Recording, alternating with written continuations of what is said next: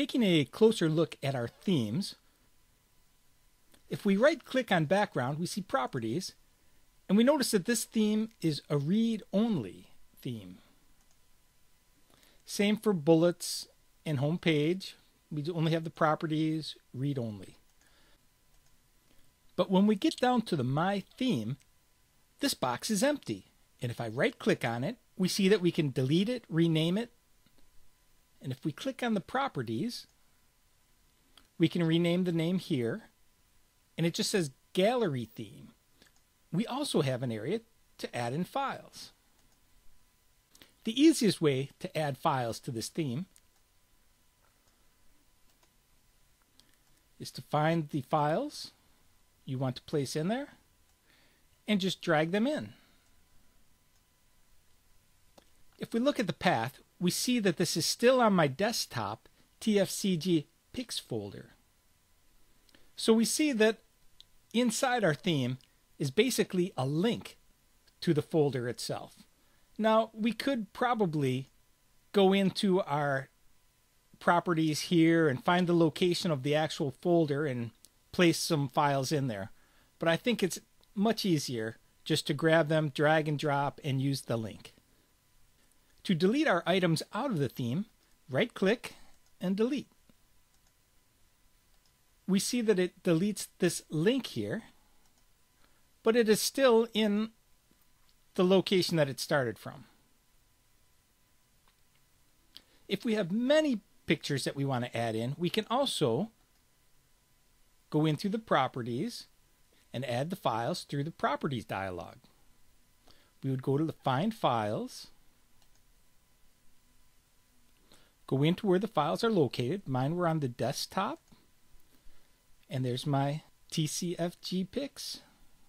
Clicking OK shows what files are available in the dialog box.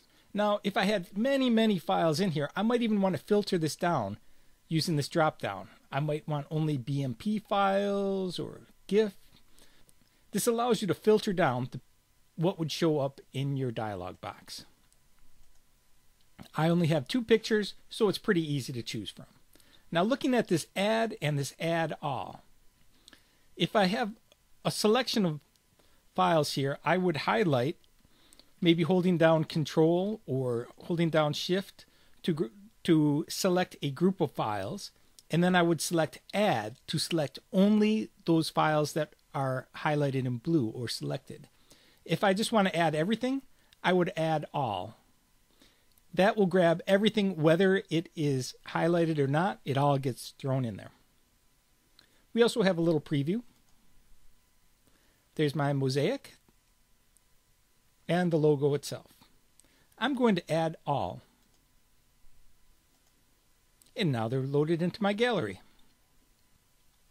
Right clicking on these, I'm given also another choice of title. We'll say logo from gallery. Now when we look above, we see the title we gave it is TFGC logo from gallery but the path still has the original name. So now we have our new theme button that I've skipped over until now. Clicking that shows us this dialog box once again. We'll call this my new theme. And we see that's basically the same as the my theme. And I can add in the same pictures, PNG files to both I can delete it out of one. And I can also delete this whole theme if I don't like it. So that's how the gallery works. It's got some basic backgrounds and bullets, and it gives us a place to organize our attachments for LibreOffice.